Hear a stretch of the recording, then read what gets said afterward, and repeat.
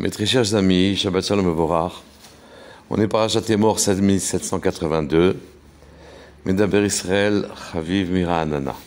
Il y a dans cette paracha un pasuk étonnant, Daber el Aharon le mort ish mizaracha le dorotam, asher bomum, parle à Aaron en lui disant, un homme mizaracha de ta descendance, les dorotam et ceux pour toutes les générations, asher bomum, qui aurait un défaut, lo yikrav les hakriv, qui ne s'approchent pas pour offrir l'echem et le kav, des sacrifices à Hachem.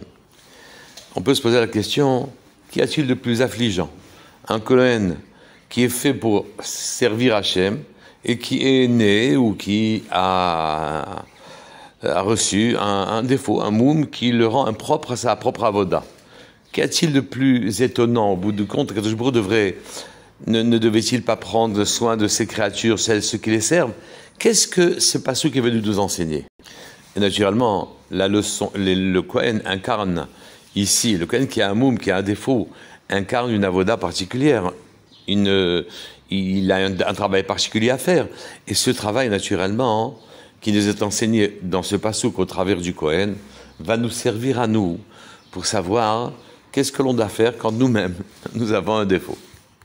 Quelles leçons pouvons-nous tirer nous-mêmes de ce passouk? Sachant que la cristallisation, la matérialisation de ce problème, oui, se fait au travers du, du Cohen qui a un défaut et qui ne peut pas exercer, mais qui a un travail tout particulier à faire, qui nous enseigne à nous. La Gemara Brachot d'Afsamurbet dit Sama de Yisure Kabila. Le remède pour supporter les épreuves, Kabila, c'est de les accepter. Accepter l'épreuve, c'est déjà résoudre le problème. Comment comprendre cette Gemara? Comment comprendre Comment comprendre d'abord qu'il y ait un problème? Akashbourou, qui a la maîtrise de tout, ne peut pas faire dérailler ses lignes. Comment se fait-il qu'il y ait des soucis et des problèmes? Le pasuk dit de Pour l'éternité, ta parole tient les cieux. Akashbourou a dit que les cieux soient et les cieux furent. Les lettres des mots Yehirakia, que les cieux soient, font exister les cieux jusqu'à ce jour. S'il n'y avait ces lettres-là, ces mots-là prononcés par Hachem, il n'y aurait pas de cieux. Il en est de même naturellement pour la terre. Et donc tout notre décor finalement tient aux paroles d'Hachem qui sont encore vivantes dans ce décor. Sinon, le monde retournerait au néant. Et donc se pose la question, pour tous les Isurim, les malheurs, les soucis que les hommes ont, comment, comment, euh, existe-t-il? Pourquoi existe-t-il? Il leur faut aussi des lettres. Il a fallu un ordre divin qui les font exister. Il a fallu une lueur, une lumière d'Hachem qui les a fait vivre. Et sachant que vous est la bonté par excellence, comment se fait-il qu'il fasse exister le malheur, quelles sont les lettres dans, maintient, qui maintiennent le malheur, alors qu'Akajbourou n'est que bonté? Les lettres qui font que les soucis ont existé, ce sont des lettres qui exigent de nous Ahava, Savlanout, amour et patience à l'égard d'Hachem. Nous avons fait des fautes, et donc des étincelles, des, de vitalité à nous nous ont échappé. C'est comme un petit bonheur perdu sur le chemin, qui attend d'être consolé. Comme un enfant dont les cris gênent, les pleurs déchirent l'espace.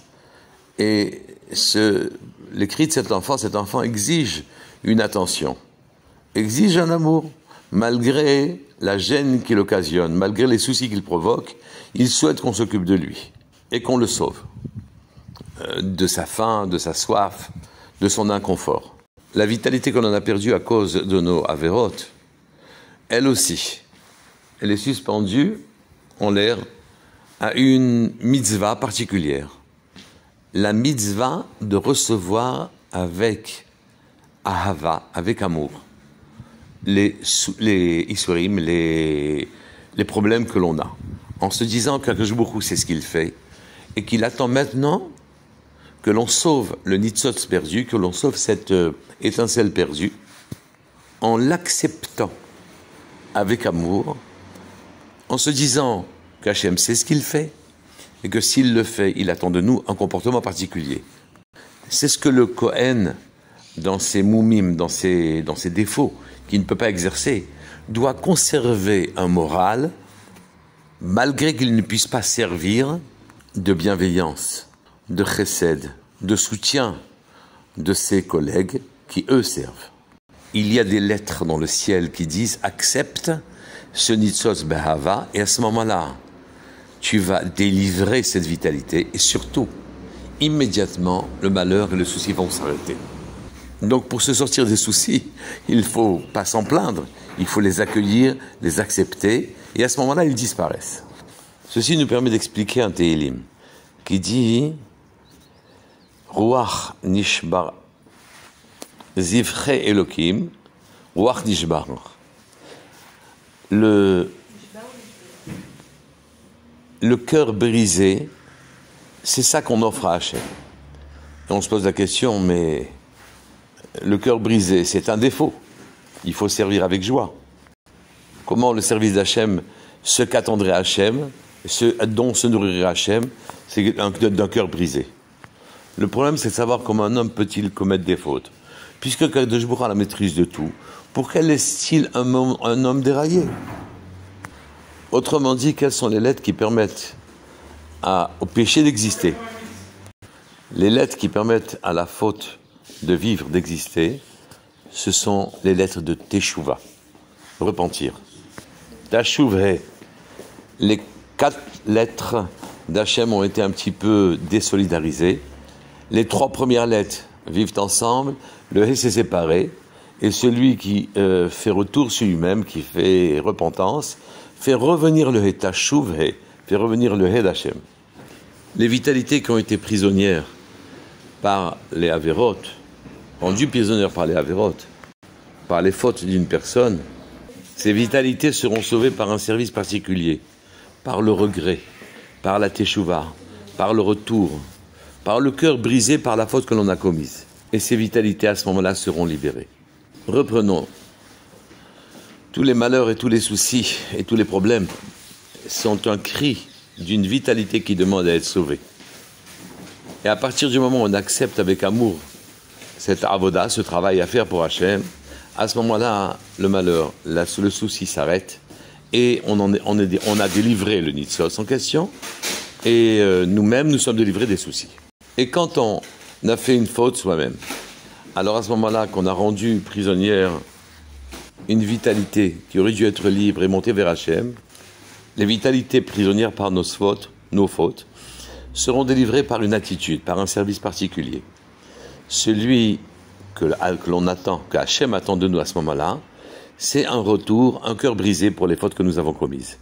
Cette attitude, ce sentiment, cette émotion-là, c'est elle qui vient libérer, les, libérer la, le nitzot, la vitalité en question, et c'est ce qu'attend de nous à Kodesh Je reviens au passage de départ à propos du Kohen, à propos duquel il est dit le yikrav le akriv, qui ne s'approche pas pour offrir, approcher l'echem et le kav, un sacrifice à Hachem, qu'il ne s'approche pas, qu'il reste à l'endroit où il est, qu'il accepte le nisayon et le problème, et qu'il ait l'attitude adéquate qui correspond aux lettres particulières qu'il va mettre, qu'il va illuminer par sa teshuva, par son regret, et surtout par son acceptation, à ce moment-là, qu'il ne s'approche pas, qu'il fasse son travail, et c'est ce que nous enseigne ce pasouk, qui se cristallise dans la voda du Kohen qui a un moum, mais qui pour nous est riche d'enseignements.